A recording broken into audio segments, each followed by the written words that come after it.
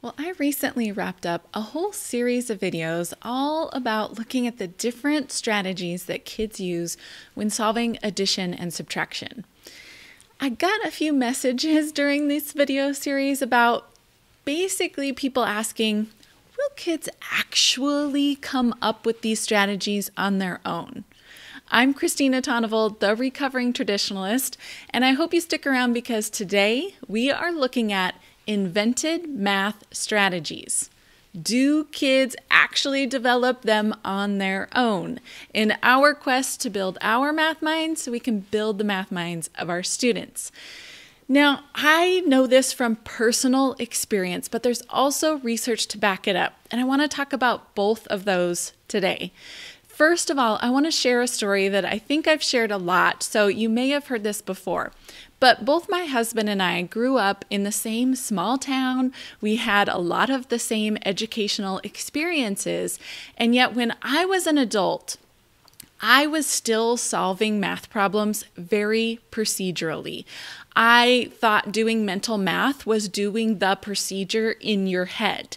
And it wasn't until I went back and got my master's degree that I was introduced to this different way to think about solving math problems.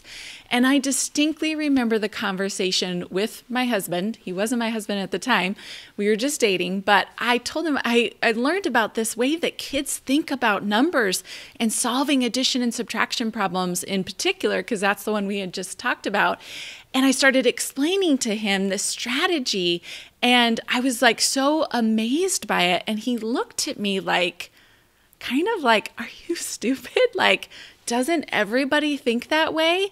And and that's what he said. Doesn't everyone think that way? And I was like, no, I have never thought that way about numbers. And I don't remember the exact problem, but it was something like 29 plus 36. And this kid in the video that we had watched had, you know, taken one from the 36, given it to the 29, and said, you know, 30 and 35 and added it together. And I was like mind blown. And I'm explaining this to him, and he was just kind of like, why wouldn't you solve the problem that way? And I was like, no, you stack it. It's 29 and you put 36 underneath and you add the ones and you carry it over, like the whole procedure thing. But it just, that was one of those moments where I was like, we basically had the same education, but he thinks differently about these problems. How was that? He wasn't taught that way. He wasn't taught that way to think about those problems, yet he did it naturally. And why didn't I? Why didn't I? And it was because I, I, I think back of it, and I'm sure there's lots of different reasons why, but a big reason for me was that I was a rule follower. You tell me how to solve something, and I can follow that rule and procedure. Whereas my husband is kind of a rule breaker.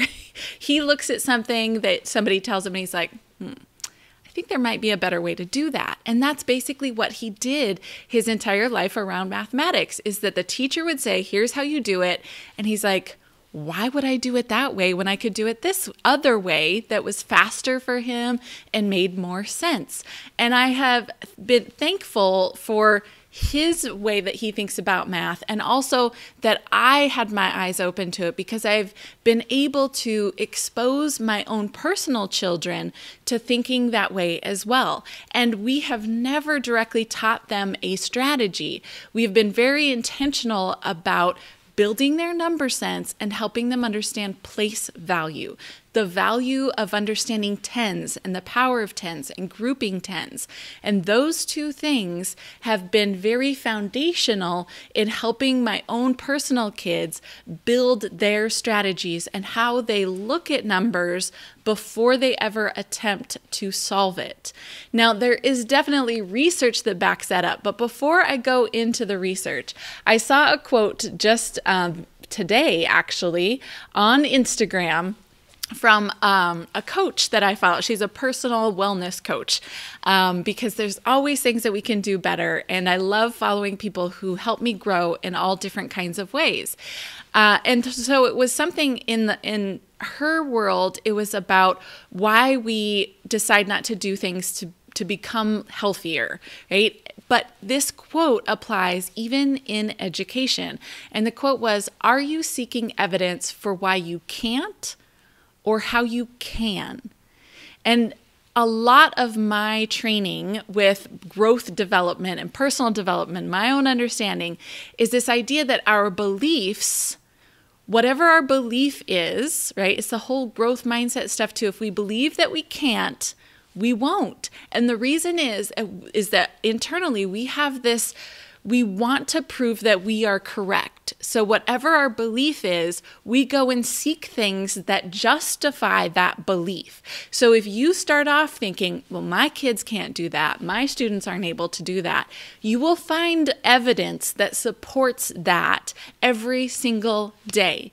But if you start with that belief that your students can invent their own strategies, you will find evidence of that every single day. Now, there is a ton of research out there about kids inventing their own strategies, but I'm going to reference three of them real quick for you because these are my top three favorite all time things of, that I've ever read. The first one is really kind of meaty, and it's one that, unless you do this day in and day out, it, it wouldn't be one that I would recommend you go buy. But it's Baroody and Dowker, and they it's it's a whole series all kinds of stuff in here about how kids develop their understanding of arithmetic and how those concepts and skills get developed.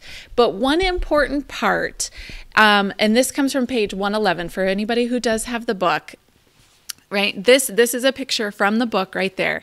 And they talk about how conceptual knowledge will precede directly related procedural knowledge if a procedure is not demonstrated in everyday life or school, or frequent experience with a concept, either in everyday life or school, precedes instruction of a procedure. So, what that means basically is that if your students have not already been taught a procedure, that ups your chance of them inventing their own strategies. Because if they've already been taught a procedure, they think they need to follow that procedure. You've got a ton of rule followers like me in your classroom who just want to follow that procedure, whether it came from a teacher or it came from a parent, right? If they have been introduced to a procedure, it's less likely that you can help them build these invented strategies. The other point that they make is that it comes from frequent experience with the concept, either in everyday life or school right? So we that's I say this all the time. It can't be taught, it's caught. Kids need to have experiences that build their number sense, that build their place value, and then they will use those experiences when they are solving problems. Right? We see it all the time. Kids who know quickly what 7 plus 7 is, and then they also know 7 plus 6, it's related in there, because of their experiences with football, watching football, playing football. But if we have students who are not football fans, Seven plus seven is not something that they've experienced a whole lot, and thus seven plus six is something that they haven't experienced as well. So, those experiences play a really, really big role in what our students are going to be able to do in relation to invented strategies. Now, one of my all time favorite books is Children's Mathematics by Thomas Carpenter et al., right? That whole crew um, because it was just so found this this was the training that I received that changed everything in me. That was one of those videos we were watching was a CGI cognitively guided instruction video and how kids were developing their own strategies without the teacher telling them how to do it. Now, the part I want to tell you from this book is about how they reference really how a student decides to solve multi digit problems really does depend on how they are solving single digit problems. So, if you are working with fifth graders, and every experience that they have had leading up to fifth grade has been on memorization, following rules and procedures, then yes, it's going to be more difficult to get them to invent their strategies. But if you are helping from very early on, helping kids invent their strategies on things like 5 plus 6, 9 plus 7, those strategies that they're using on single digit addition, multiplication, subtraction, division type stuff is how that they will end up solving multi-digit problems, right? It it all layers together. So this book is full of ideas and activities and the research that goes on into explaining how we help develop that for students. And it is one of those books that is like, if you do not have this book, you need to get it. It is an absolute must have for any elementary teacher. So, another second must have of mine is the book by Fosnot and Dolk. So, there's a whole series, but this one is on constructing number sense and addition and subtraction.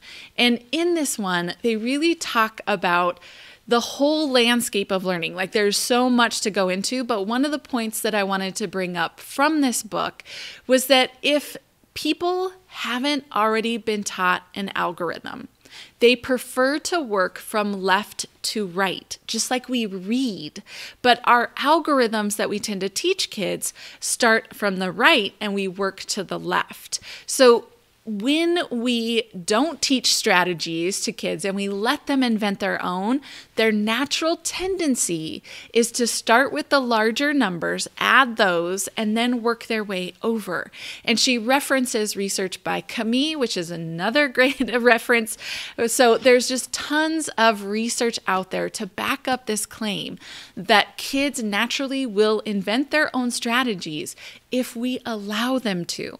And I bet if you open up the belief in your own mind that your students can do it, you'll start to see more and more kids who are actually doing it. So you have a choice. You can choose to think that kids can't invent these algorithms and these strategies on their own. And so it's our job to just teach them. We've got to teach them the rules and procedures. Or you can choose to believe that students will invent these strategies with guidance from us by allowing them to experience concepts around number, building their number sense, building their place value, and then help guiding them through their invention of these strategies. Now, kids don't just magically wake up and say, Oh, I see how to do this. Remember, it is tied to how they are thinking about single digit numbers the number sense and experiences that they've had that help determine whether or not they will invent these strategies. So focus on building their conceptual understanding of numbers, and the byproduct will be that students will invent these math strategies on their own. All right, I hope that this video helped you build your math mind so you can go build the math minds of your students. Have a great day.